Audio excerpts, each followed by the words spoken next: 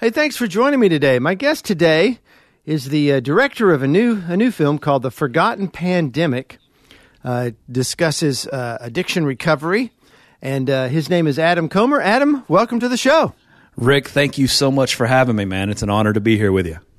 So Adam has uh, uh, created a film. He's part of ST, S2L Recovery, a, uh, and we'll talk about that. Um, it's a it's a recovery uh, service for people who are struggling with addiction issues.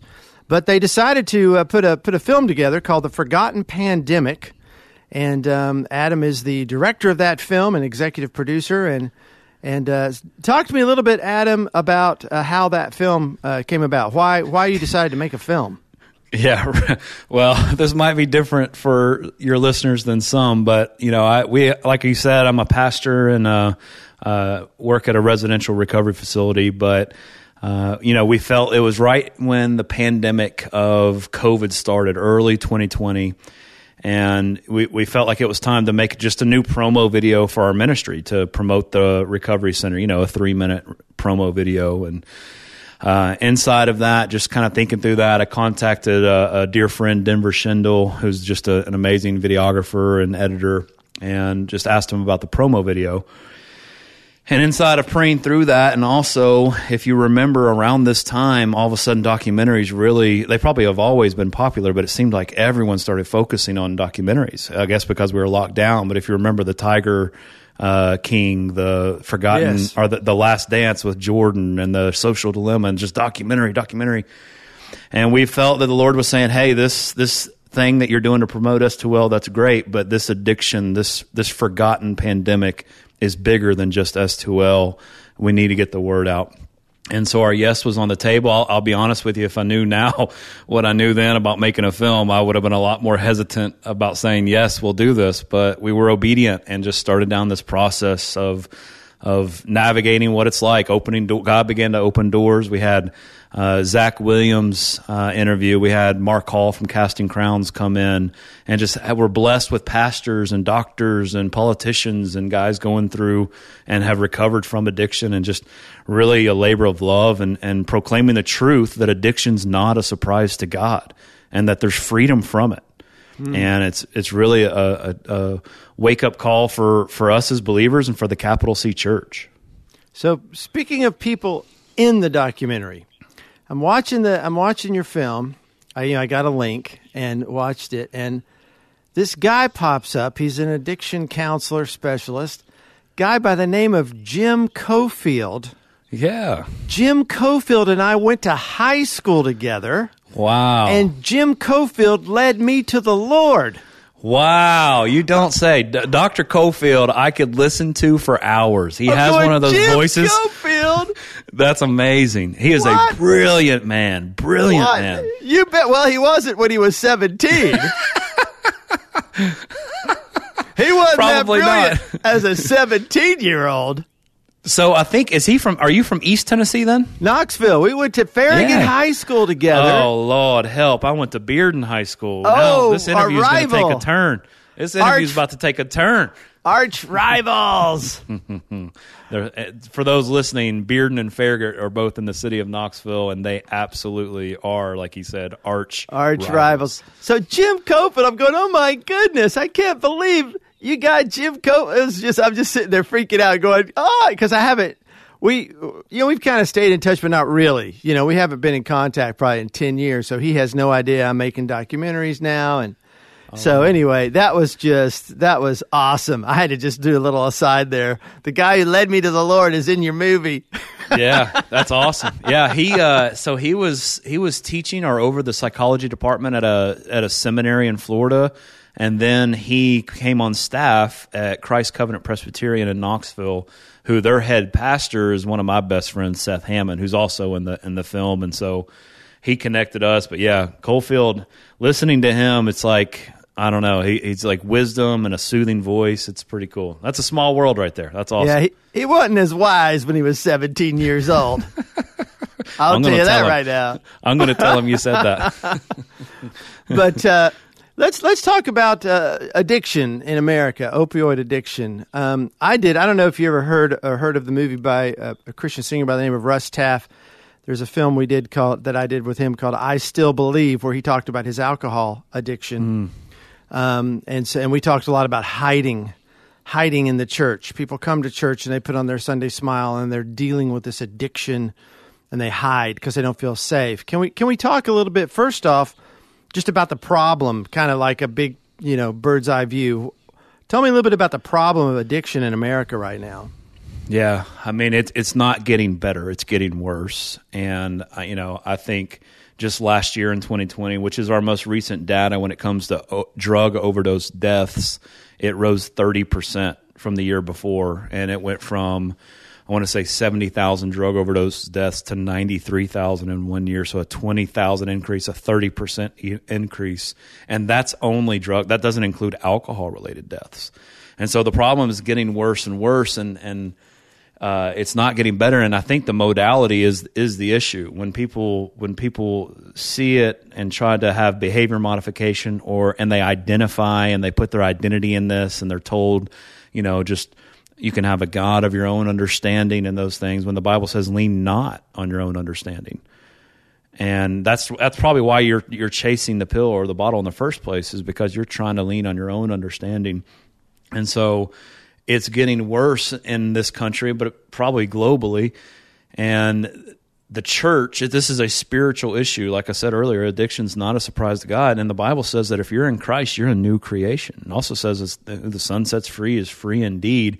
And so when you line these things up, if you what we teach guys in our curriculum is straight from Second Peter when it talks about escaping desires. And if someone who's ever struggled with a chemical dependence or anything, really, I don't think it's hindrance on that.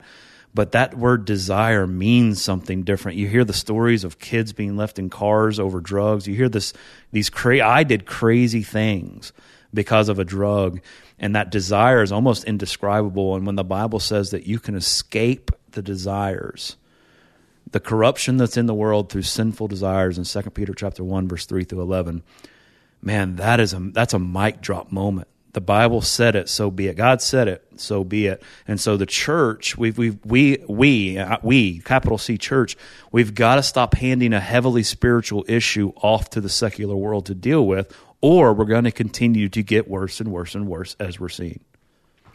So uh, now with with alcohol uh, deaths, are, are, you are we at about two hundred thousand a year?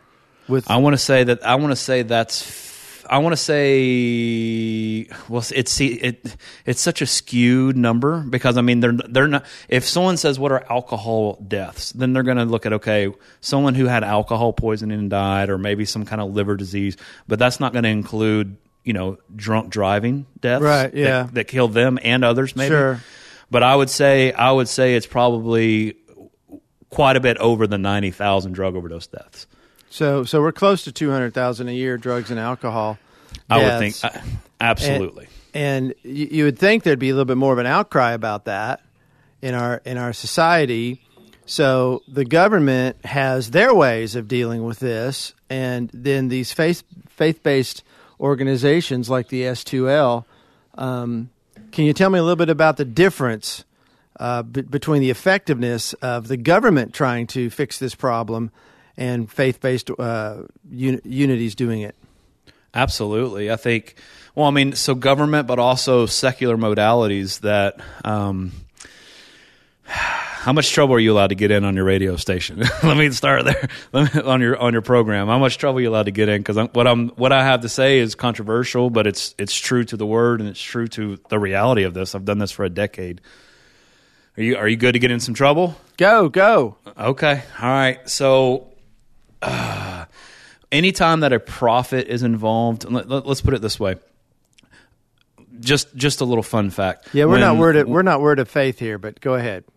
Okay, yeah, me either. But when OxyContin, the pharmaceutical company, I think Purdue put was pushing OxyContin to the doctors, they told the doctors, and the FDA approved that less than one percent of the people taking this will become addicted to it. What? That's absurd. OxyContin's a molecule off from heroin. And so, so when you see stuff like that, and all of a sudden now you get these brain children involved, and they start talking about, okay, hey, you identify with this, even basics. So when you go into a room, you have to acknowledge before you could speak, hey, my name is Adam, and I'm an addict or an alcoholic. Well, that's psychology 101. That's that. If you tell a little girl that she's going to be ugly from the time that she's little until she's older, she's going to grow up and do things that uh, she's going to think she's ugly. Hmm. And so when you call yourself and you identify with the sin or the past that you've had, man, that is so damaging. But when you read God's word and he talks about that you're made new and that you're free, that's hope, and hope is powerful. And so and now I preface that with saying, hey, doctors, medication, nursing, therapists, counseling, that's from God if it's in its proper place. At S2L, we have all of those things. And now the big thing that you're seeing, you're, you're seeing medication assisted treatment, MAT. And it's it's it's in a certain context, medication is good, but when you start talking long term, it's pharmaceutical drugs made by the same pharmaceutical companies that got us into this in the first place. And like I said in the film, it's like what sound minded person honestly believes that that's the answer out of this? Just taking more drugs from the same company that got us into it. Yeah, that can't be can the answer Where out they of can it. make the money. Yeah. Yeah. and, and so at S2L, that's what I said. Our curriculum is called Lost and Found Recovery in Christ. We have doctors, nurses, clinicians, but they have a biblical worldview and they see people made in the imago Dei, in the image of God. And so we treat people accordingly. Uh, we, we, we don't put someone on a medication long term just so they return in you know a year or two now trying to get off of that medication. Off the new medication. So instead of Yeah. hi, I'm I'm uh, Adam, I'm an addict. It's hi, I'm Adam, a redeemed child of God, which is a complete different identity. You're listening to the Rick Altizer Show on Bott Radio. My guest today is Adam Comer, and we're talking about uh, his uh, new movie that he's directed called The Forgotten Pandemic, and uh, also talking about just the problem of uh, opioid and drug addiction here in our nation, and and just how bad it's gotten. Um, real quick, S2L. What does that stand for? Spring to life. Spring to Life. So S2L, you can get more information about uh, th- this recovery program, s2lrecovery.org. And um, let's talk a little bit about the movie then. So, so we've got this film, The Forgotten Pandemic. And uh, can we talk, talk a little bit about some of, uh, you had mentioned earlier, just how difficult making a, a documentary is. And so, and you're not tackling like a small subject, something light and airy like you know the day in the life of a guy on a on a on a tractor you're you're talking about a you know a pandemic of drug and opioid addiction uh, talk a little bit about some of just what were some eye-opening things for you in directing your first uh, your first uh, documentary Oh yeah. Okay. So just the time that is involved and the attention to detail. I mean, uh, I don't think the mass I know the mass majority of people that aren't in this space realize what goes into making a quality film. Uh, so not only the lights and getting the camera set up and traveling to the location that you're shooting, setting all this stuff up, making sure the microphones and audio's good and the lighting's just right and the picture's great and then you got to go to post production, which is 50 times longer and the, the more tedious work to go into it. And it is a lot of work if it's done right. And, and man, I have such a high respect for filmmakers now um, just because there's so much that goes into it. The slightest thing that you and I now will look at and change, it's like it could be a second a second in a scene that spent so much time to make sure it looked and sounded just right. Uh, but in watch time, it could have just skipped by in a second, and I don't think people understand that. I didn't, I didn't, and um, I, I need some. I still need a break and rest from after making this first one before we dive into another project. yes yes it's a big it's a big endeavor you know you, you get all these different people you're interviewing you have all these interviews and i know on the last Show Me the Father movie that I did with the Kendrick brothers, uh, we had probably, oh gosh, 40 hours of interview. I don't know. So I'm going to go through all the transcripts and I'm highlighting all the transcripts and trying to figure out what I want to keep and what I don't want to keep. What we want, you know, I mean, I spent three and a half months doing that, Yeah, yeah, just going through transcripts, trying to figure out how I wanted to write this thing, you know? So Yeah. it, it's, it can be overwhelming, just overwhelming. And it's on your brain 24 7. Yeah, just it is. It is overwhelming, and it's like, ah, did he did he say it a different way than uh, you know when I asked him that again? And so I think it was the same, around 40, 50 hours of interviews, and that's condensed down to forty minutes. Like, yeah. think about that for a second. Our docu- the, the, the Forgotten Pandemic's a forty minute documentary, but that's condensed down to forty minutes. so, wow, amazing. Yeah. Now, talk to me. How how can people see this? Tell me how you can see uh, the Forgotten Pandemic. So yeah, so right now it is at theforgottenpandemic.com. Uh, that is, and uh, you know, another aspect to this is distribution that I knew nothing about beforehand. But we've partnered with some people, and um, we're we're hoping, uh, and we're kind of being told in the beginning of the year there could be some uh, Christian networks and things like that that want to pick it up. So, oh great. Um, so it's not on YouTube. It would be if if we if we didn't think it would be picked up, but we're told if we put it for free, you know, just on YouTube, then other places are going to pass. And we want it to be on the biggest platform it can be for the most people to see it. But right now, theforgottenpandemic.com, you can rent it or buy it. You could buy and, it. And I mean, you know, just I think I've done what I've done six documentaries, so five documentaries. Um, you know, you gotta. There's a lot of costs involved. You got yeah. you got to have somebody to run sound, somebody to do the lighting, and somebody to bring the camera. You got to have cameras, and then you got to show up to somebody's place, and you got to set up, and you got to drive there, and drive to you know uh, Knoxville, and you got to get a hotel, and I mean it's expensive. Yeah. You, you, it is. It, it, costs a lot of money to do this. So, um, uh, going to theforgottenpandemic.com and helping uh, support this is a, is a great thing. Uh, don't think that you know filmmakers need people to buy tickets. You know, Christian people say, "Well, why aren't there that many Christian films out?" Well, people need to go buy tickets. They want to go see Christian films. We had our our movie "Show Me the Father" in theaters, and you know, nobody wanted to go to theaters because of the pandemic, because of COVID, and you know how, how are we going to make any more of those? So yeah, um, that was that was in eleven hundred theaters, wasn't it? Wasn't that a yep, pretty big? Yep. Eleven hundred theaters. Mm-hmm. Brag and on so, that for a minute. It got an A plus. Uh, wow. Well, yeah. Hey, I you did, did a little research too, and I mean that's that's a big deal. I mean, so and and here's not that we're going to sit here and have a complaining session about making films, but I think another mindset too when people think Christian, they also think free, and that's just not how economy like we we couldn't we can't do it for free. Someone's paying for it, right? Like the the guy that's with the camera that's filming. I mean, we can't ask him, "Hey, spend eight hours with me today and do it for free." Yeah, let's go. To, so, let's go to. Let's go to. Uh, we're going to go to Indiana, and so I'm going to ask all the gas stations to give me free gas.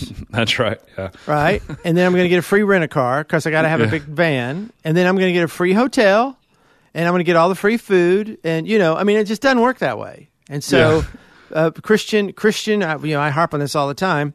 If Christians want Christian films, you got to go out and support them. You got to yeah. support your Christian films if you want them. You know, and you know, uh, Show Me the Father did 1.9 million at box office so far, but it's a five million break even. Yeah. So everybody's yeah. losing money because people didn't want to go to the theater. Oh, I'll wait till it comes out on streaming, or I'll wait till the DVD. Okay, great. Now, now you know we're not going to make another one.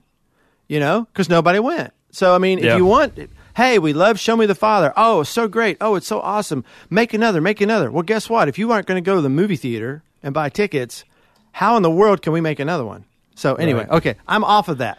Yeah, hey, we're like two, the, we're like two grumpy old men here. yeah, I'm off. I'm done. We're done. You're listening to the Rick Altizer Show on Bott Radio, uh, the grumpy Rick Altizer Show on Bott Radio. And uh, no, my guest today, my guest today is the not as grumpy uh, Adam Comer, uh, CEO of uh, S2L Recovery and also director of the new film The Forgotten Pandemic. So, you know what? Uh, would you mind telling me a little bit? Uh, we, have got about six minutes left here. Tell me a little bit about your own story and your own interest in addiction and kind of your own journey through it.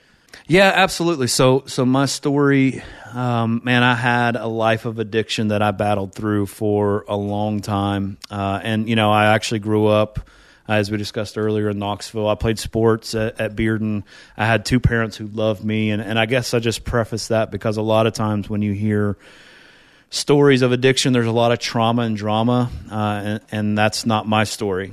Uh, what you know, had a amazing family. Ended up going down to New Orleans after Hurricane Katrina, and um, hurt hurt my back and was introduced to pain medication. And when I tasted that for the first time, that was that was um, man, I knew that that was the answer.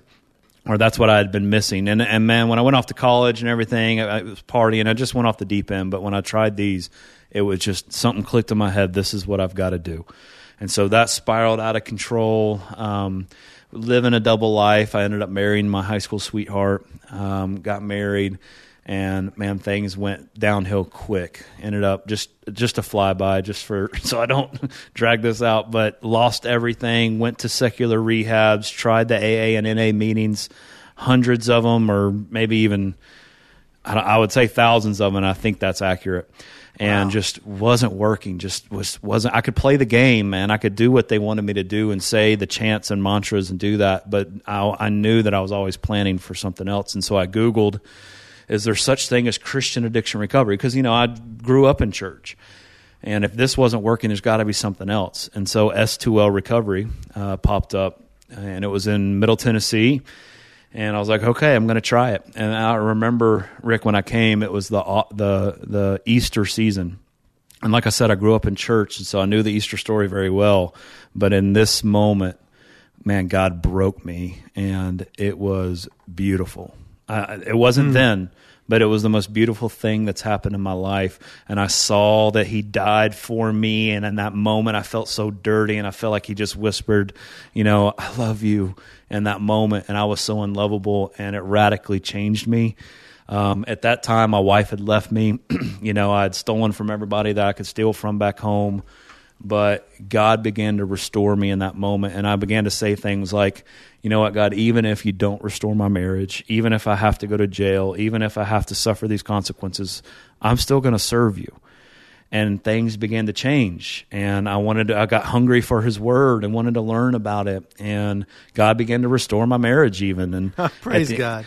And at the end of that, you know, they offered, S2L offered me an internship and you know, I was I was like, okay, I do kind of feel called to lead people, but this I can't do a staff, but I'll do an internship for a few months, and then I got to head back to East Tennessee. For those listening, if you don't know, Knoxville is about two and a half, three hours away from Middle Tennessee, and at the end of that three months, they did what I thought they were going to do. They offered me a full time position, and I just gave them, you know, God's restoring my marriage. My wife and family, her wife and family, all live three hours away, and so I gave them the church answer, and we prayed about it. Hey, we're gonna, we need to pray about it, right? But I knew the answer was no in my mind, and so hey, give us three days. And on the second day of praying about it, my wife, her boss came to her and said, "Hey, we have a promotion, potential promotion that we want to offer you, but you'd have to be willing to move to Middle Tennessee to take it."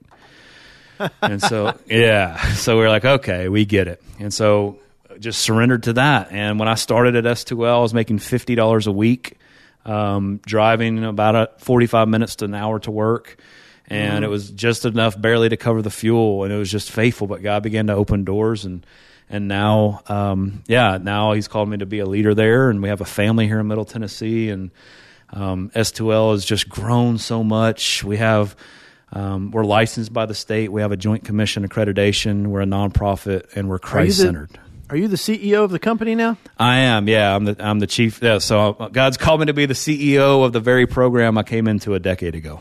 So from driving fifty bucks a week as a driver to uh, to the CEO, praise the Lord. God is yeah. God is good. God is and, good. Uh, yeah, what a what a story! I, I interviewed a singer, Joseph Habedank. I don't know if you ever heard him. He's a uh, Southern gospel singer, but he same story. You know, wow. got got uh, an injury that the, the doctors give him this uh, you know heroin based opioid, and he started taking it, and it was like, oh man, this change this changes my life. Oh, this is what I've been looking for, and became an addict immediately. Hmm. And ruined his life, and you know, God did a similar story, but that is so common. I mean, it's like they've it's almost like they're making these drugs to addict you, and they're saying 1%, less than 1% will be addicted. Yeah, what a, and what the, a joke! And, and, the FDA is putting their stamp of approval on it. So it's a it's a it's a money thing. Big pharma has their hands in. I mean, again, I don't want to get anybody in well, trouble. Well, you look at it, the top. You look at the senators. They have you know you can go online and you can look at what the senators have their stock in. Senators right. and congressmen, and the top five stocks: uh, uh, Pfizer, Johnson and Johnson, you know, all these drug companies, you know, that's who the senators have their stock in. So that tells you something right there. Anyway, Yeah. and again, we're getting grumpy and we digress. Let's let's go back to the forgotten Hey. pandemic. I think it's I think it's righteous anger, right? Is There that how we go. we could justify it with righteous anger? so Well, um, man, we're out of time, dude. This is great. Thanks so much for talking about this. You, know, you can see, and I recommend you go do this. The Forgotten Pandemic uh, by going to theforgottenpandemic.com. You can get more information. You know, if you if you want to go to a Christ based uh, redic- uh, addiction recovery uh, facility, you can get information by s2lrecovery.org. S2L. And S2L stands for? spring to life, and when you type it in, it's the numeral two, not to. The number Yep, two. The number Yeah. two. Spring to life. S, the number two, L, recovery.org. And uh, any more info of where they can find out about you, Adam? Yeah, man, we have a lot of Christ centered addiction recovery resources at s the number two l dot net. We have workbooks and teaching guides and video series for any church to start a recovery, a weekly recovery meeting and stuff like that. Um, Well, man- and we're blessed to to be a blessing. Well, thank you, Adam, for being on the show. Sure appreciate it. Yeah, Rick, thank you so much, man.